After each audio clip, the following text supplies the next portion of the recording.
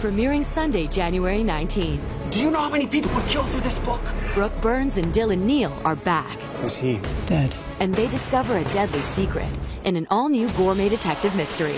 There's gotta be something more than just recipes in that book. It's the perfect pairing. They're the best crime fighting duo since Batman and Robin. Am I the Robin in this? Definitely. Roux the Day, a gourmet detective mystery. Premier Sunday, January 19th at 8. Only on Hallmark Movies and Mysteries.